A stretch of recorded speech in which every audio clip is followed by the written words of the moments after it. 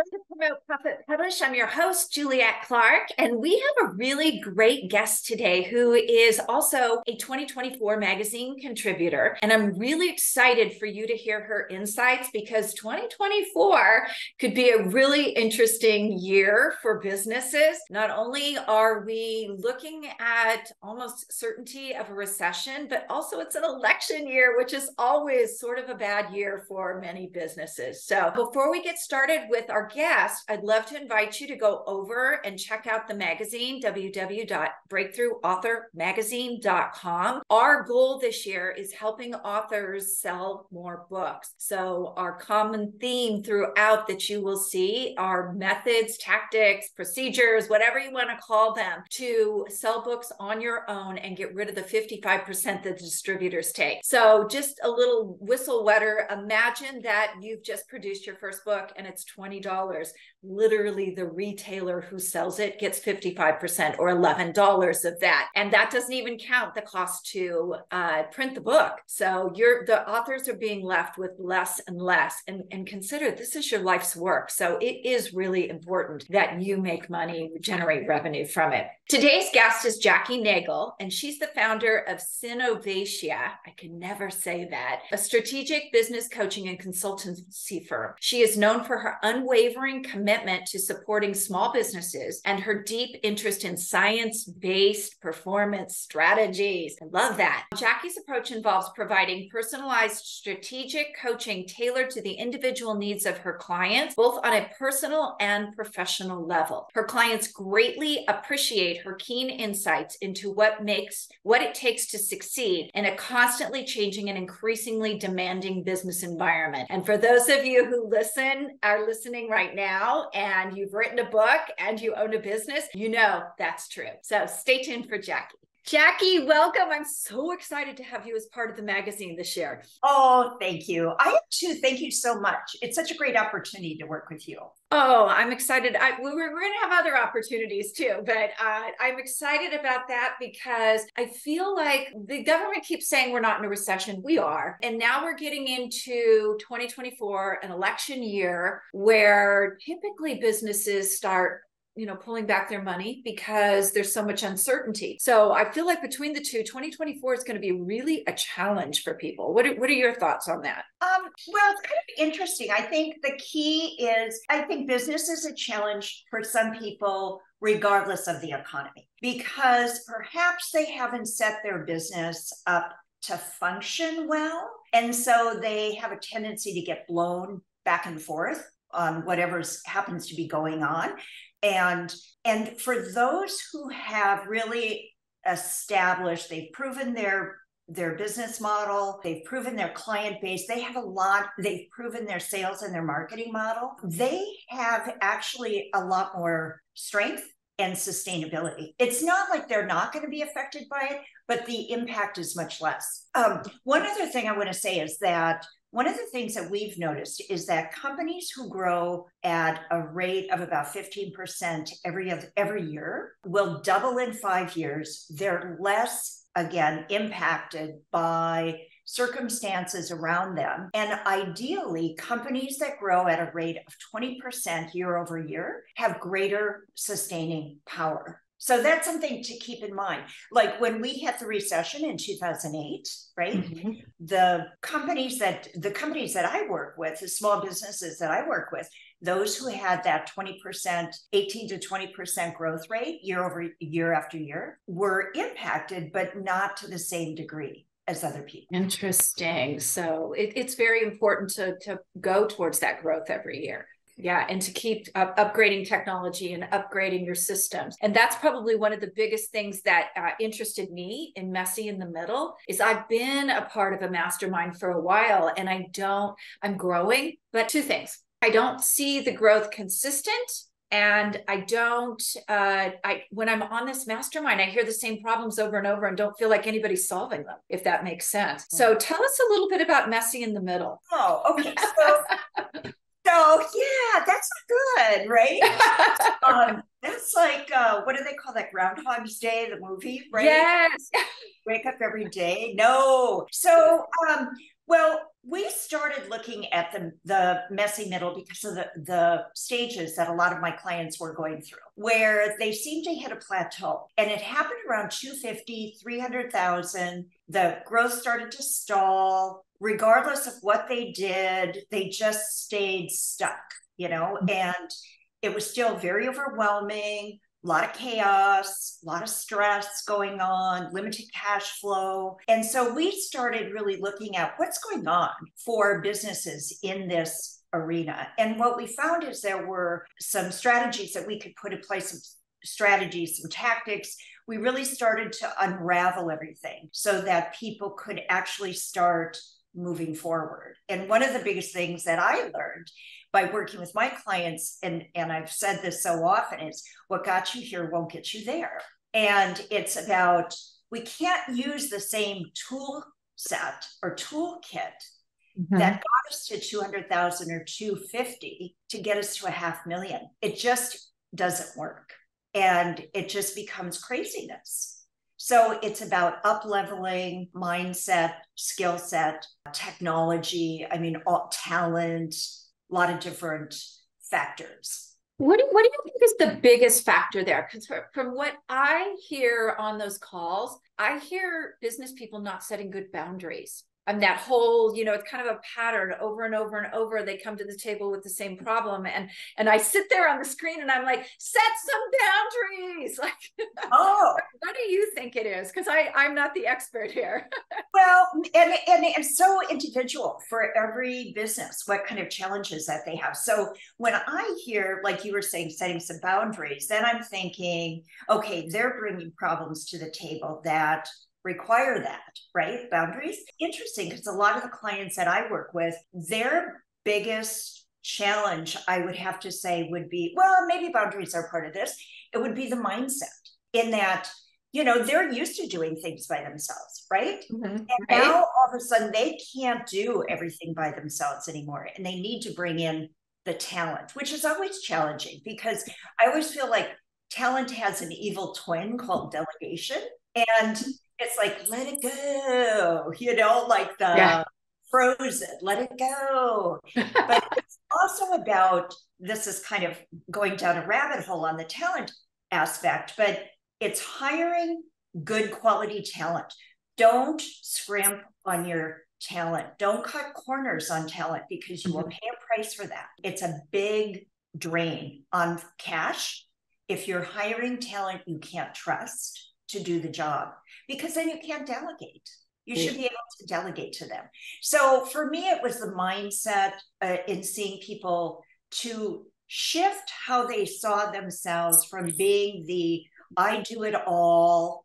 Even though I have a business, it's really, I'm a solo, I'm functioning mentally like a solopreneur to think about, oh, now I've got to start growing my team and sharing some of the responsibility of the workload with other people. And that's hard for a lot of people to let go and trust. Mm-hmm. And there's a whole process. You don't just let it go, right? There's a process that you put in place so that you can trust the people. It's hiring the right talent, talent. It's onboarding them correctly. It is um, mentoring them properly, and then giving them the work to match their skills but also understanding yourself and what you need to hear from them and get from them in order to to eventually trust them yeah that is a that is a big and that's probably the biggest thing i hear that i was saying over and over like you haven't let go of that yet oh um, yeah okay that, that's what i you know so the same people will get on and they'll talk about that you know oh i'm still overwhelmed i'm stressed my family's not getting attention it's like well did you hire those people yet you know can I tell you a quick story? Yeah. On that line. So, and a, a friend of mine who's in HR and I teamed up to put together a performance management system for a local uh, accounting firm. And um, I did the strategy part and the the growth planning and she did the HR part. And it was so funny because there was an issue that came, kept coming up with this one employee, right? And it was, but we love her.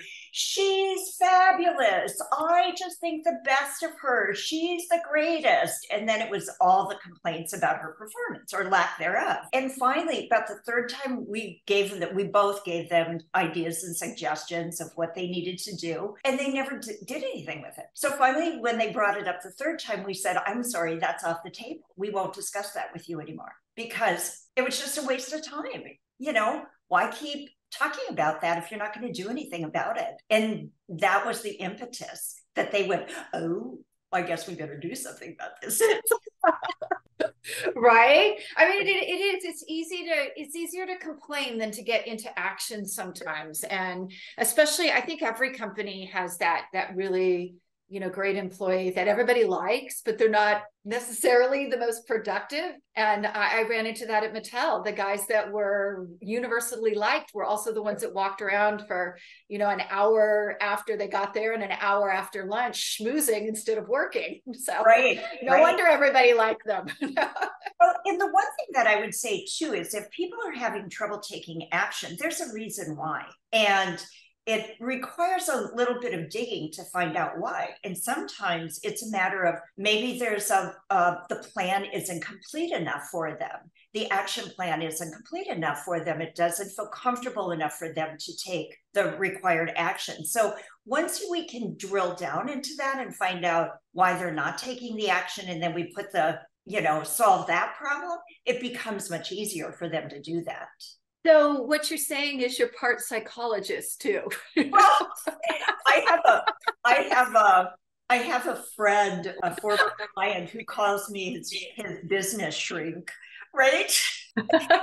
this therapist. So yeah, it is, but it's about performance. And I mean, it's not just performance of the people that who are on our team, but it's our own performance and you know, things that kind of trip us up as well. So, a lot of what I gathered from talking to you before, a lot of what you do is work life balance too, because I know you you grab you get into the personal growth as well. Can you talk a little bit about that? So, um, you know, businesses are used. Well, let me see. How do we want to say that?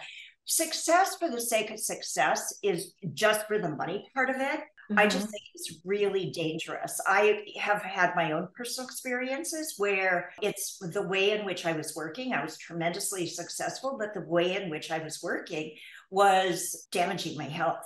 Mm-hmm. And so, based on my own experiences, I try and help my clients think about how do we achieve this success without breaking your health? Because it can be done. It just is a way of we've got to think differently about it. And so, in business objectives and goals, I always see them as being they're they're not separate. They don't stand alone. We are, why are we in business? Why do we do what we do? Certainly we love it, but there's an end game. It might be to fund retirement, to buy a house. And, and so, you know, so you can't, I always feel like I can't just look at the business. I have to look at the, the entire person because the business is just one piece of it. Mm-hmm. I don't always have real good luck in getting them to, but I try, you know. But again, I think it's like um, there was a workshop that I was involved in in the 80s, which really dates me, but it was with Judge Ziglar, Zig Ziglar's brother. And he said, if you work 40%, 40 hours a week, you will be, well, this is if you're employed, but he said you will be in the top 10% of your company. If you work 50, 60 hours a week, you'll be in the top 1%. But if you work 70 hours a week, you are an F O O L. And I thought, a fool. okay. and I think that pertains to businesses too. What are we doing? Why are we needing to work 70 hours a week? Can't we fix that? I mean, and it to me, it's about what it does to us, not only physically, but mentally. And to make really smart strategic decisions, you've got to be sharp. You can't be exhausted. Right.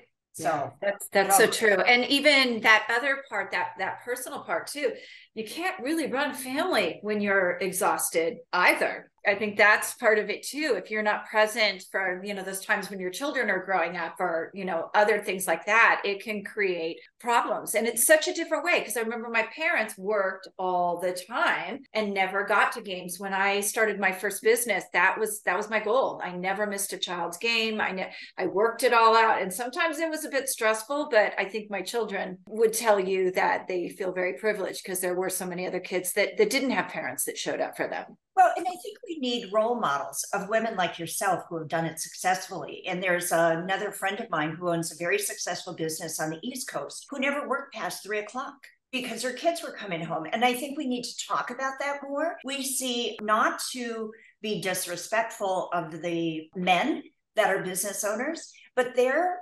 lifestyle is completely, generally, I shouldn't say completely, but it's generally different than ours. Mm-hmm. Um, terms of what is required. And so we need more women business owners to speak up about how they are successfully managing all of it. The other thing I want to say about work life balance, I think that's kind of a really difficult thing for people too, because the balance kind of gives the indication that we we spend 20 hours here and 20 hours there. And I recently heard a phrase that I thought makes a lot more sense. It's a, calling it work life satisfaction. I now, like that. Are we, are we satisfied with our work and what we're doing? Are we satisfied with our personal aspect of things and what we're doing and how we're what we're dedicating to it? And that yeah, I like oh go ahead.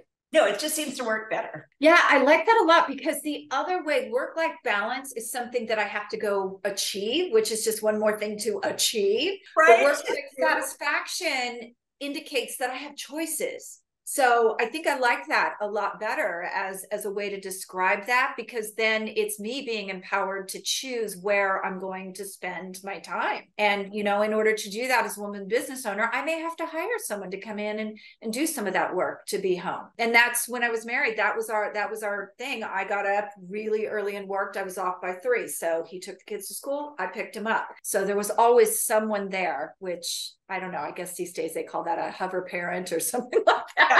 Yeah, helicopter. helicopter parent. But, you know, we just always, we both grew up in families where we didn't have those parents engaged in that way and we wanted to be different. So um, I think I love that satisfaction because it does indicate that you have a choice in the matter. It's not, yeah. not one more thing I have to achieve.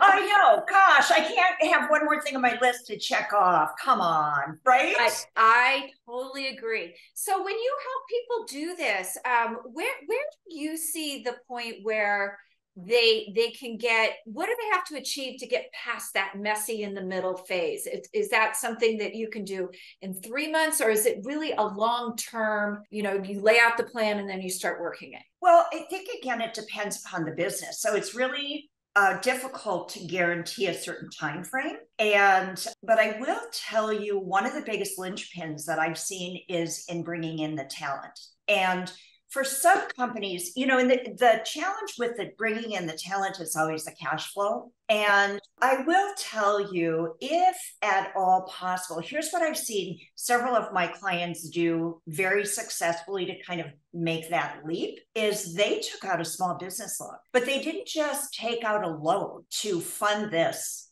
talent. They took out a loan, they looked at how they were going to have to pay it back and they also it was an SBA loan, I think. And then they also looked at they were very strategic in how they approached it in terms of what they were going to have to do to make that pay off. So it wasn't just an expense, but that it was an investment. So it was, you know, the outcomes, the Excel spreadsheets to kind of do um, a, a an analysis about what that's going to look like. And I also think it gave them confidence to know that this would not be a burden that they're going to have over their head, because that's always the biggest thing.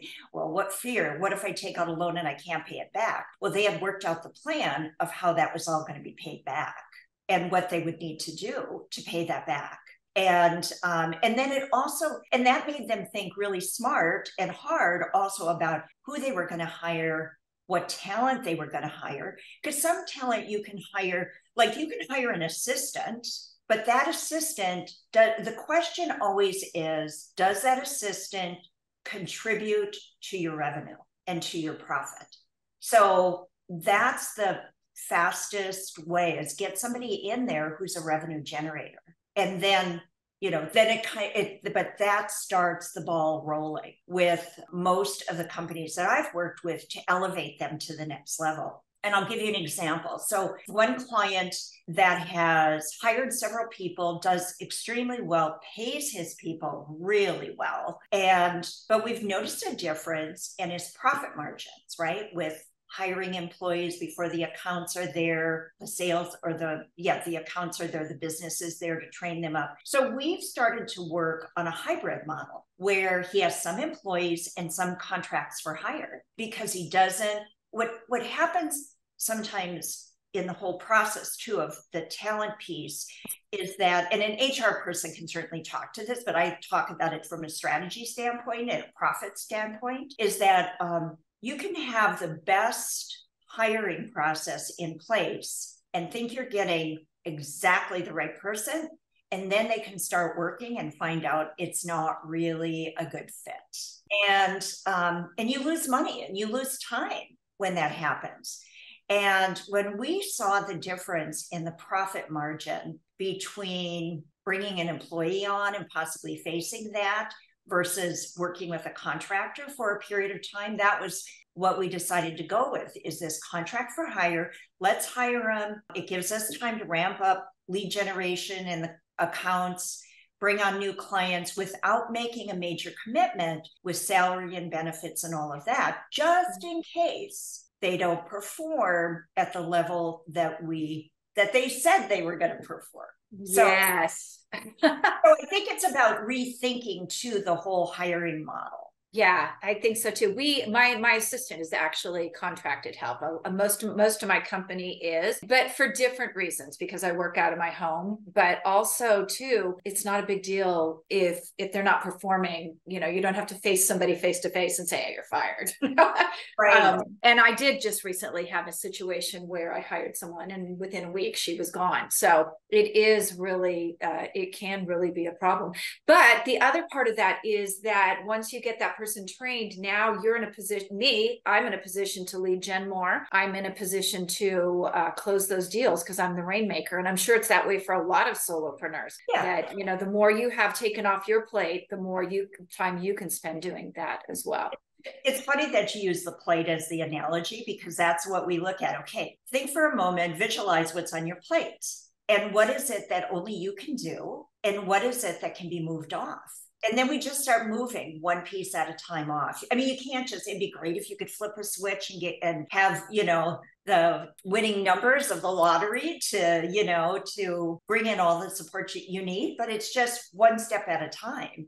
And I often think of the story of my dad, who was a diesel mechanic and he owned his own business. And I'm telling you, he worked on balers and tractors and stuff like that. And when he passed away, the man had this unbelievable treasure trove of tools. And I know he didn't buy all those tools at one time, but one step, one tool at a time. And that's kind of the, you know, and eventually he accumulated this just unbelievable amount of tools that he used.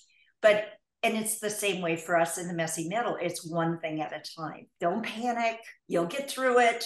Let's do one thing, get that done. Then let's go back to the plate, find out what ne- number two is. Don't overwhelm yourself with change because you're going through enough change as it is. Yeah, that is so true. And I don't think anybody works well in overwhelm. We have uh, we have our traffic school product, and um, we only let people one module at a time, even though those modules are connected. Because of that, if you try to do everything at once, nothing's going to be done well. And right. you know right. that's just that's bad. that's bad, yeah. bad business. So, so Jackie, where can we find you if we want to learn more about Messy in the Middle? So you can go to synnovatia.com. I'll spell that. S Y N N O V A T I A dot com. And it talks about our strategy services, but there's also community that we have set up. It's a free community to people who are business owners that are caught in this messy middle. And then we also offer a quarterly mastermind for business owners um, that are in the similar stage of business for get coming together uh, problem solving sharing what's working for them and collaborating you'll find that on the site as well okay great thank you so much and we're looking forward to your insights in 2024 Yes, thank you. Can I say one last thing? Absolutely. Before I leave, I just want to really compliment you as well. Your author, Traffic School, is a, a marvel of resources. I was so impressed when I went there. And oh, also um, the fact that you have one of the top, um, you're in the top 10% of all podcasts globally. And I want to say that on this podcast because I know you don't toot your own horn. So I hope you'll include that in there. Oh well, thank you. Yes, and not, not many people know that that I have an elite podcast. Uh, I, the podcast company keeps telling me that, and I'm like, okay, whatever. uh, that's, a deal. that's a big deal. Sometimes it's better when other people say it, right? Right. right. Thank you. Thank you so much. You're very welcome. Thank you.